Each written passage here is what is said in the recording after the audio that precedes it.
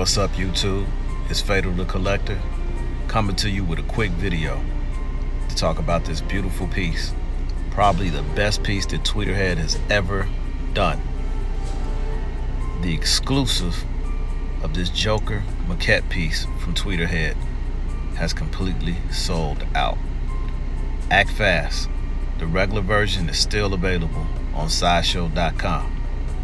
I believe this piece will sell out completely. So again, act fast if you want to add this piece to your collection.